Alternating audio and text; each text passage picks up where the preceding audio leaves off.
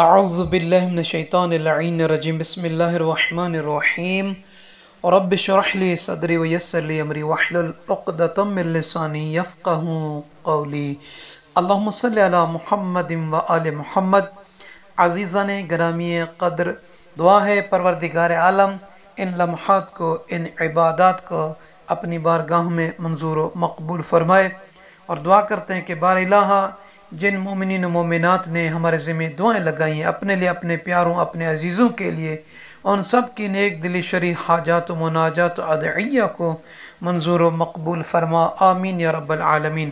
سامعین عزیز، اس ویڈیو میں بالخصوص امام رضا علیہ السلاۃ وسلام کا عمل وظیفہ، بالخصوص ماہ شعبان المعظم کے آخری جمعے کے حوالے سے جو امام علیہ السلام نے اپنے صحابی سے، اپنے چاہنے والے سے بیان فرمایا ہے، وہ بیان کرنا ہے یعنی وہ اعمال، وہ کام کہ جو امام علیہ السلام نے فرمایا کہ آخر ماہ شعبان المعظم کے جمعہ میں کرنا چاہیے، وہ کیا ہے؟ وہ بیان کرنا ہے۔ آپ مومن مومنہ سے عرض ہے کہ ناجفی کربل چینل کو سبسکرائب فرما دیجیے۔ اور بیل کے بٹن کو بیان کر دیجیے گا تاکہ اس طرح کی ویڈیو سے آپ مومنین اور ہم تمام لوگ مستفید ہوتے رہیں اور یہ سلسلہ نشر و اشاعت اور تبلیغ پہنچتا رہے، کارواں بڑھتا رہے۔ جزاک اللہ۔ سامعین عزیز مومنین مومنات، مولا امام رضا علیہ السلام سے ابو سلط حروی نے روایت کی ہے کہ میں ماہ شعبان کے آخر جمعہ کو سرکار مولا امام رضا علیہ السلام کی خدمت مبارک میں حاضر ہوا۔ تو آپ علیہ السلام نے مجھ سے فرمایا، اے ابو سلط، شعبان کا زیادہ حصہ گزر گیا ہے اور آج اس کا آخری جمعہ ہے، لہذا اس کے گزشتہ دنوں میں تم سے جو کوہتائیاں ہوئی ہیں، باقی آنے والے دنوں میں تمہیں ان کی تلافی کر لینی چاہیے۔ اور امام علیہ السلام فرماتے ہیں کہ تمہیں وہ عمل اختیار کرنا چاہیے جو تمہارے لیے مفید ہو۔ امام فرماتے ہیں، تمہیں تلاوت قرآن اور بہت زیادہ دعا اور استغفار کرنا چاہیے۔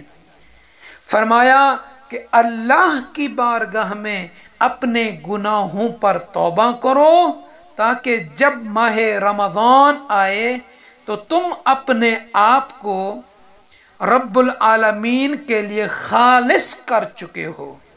اپنے ذمہ کسی کا کوئی حق باقی نہ رہے۔ یہاں تک کہ اسے ادا کرو۔ اپنے دل میں کسی کا بغض و کینہ نہ رکھو۔ اگر کوئی گناہ کرتے رہے ہو تو اسے ترک کر دو۔ اللہ سے ڈرو۔ اور ظاہر و باطن میں اسی پر بھروسہ رکھو کہ جو شخص امام علیہ السلام فرماتے ہیں، اللہ پر توکل اور بھروسہ رکھتا ہے، اللہ اس کے لیے کافی ہے۔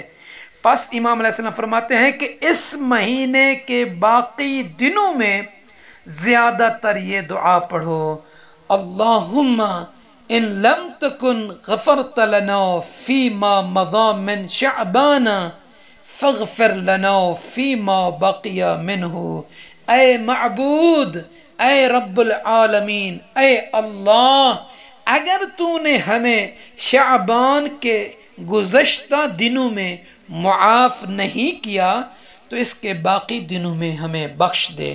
آمین یا رب العالمین آمین یا رب العالمین۔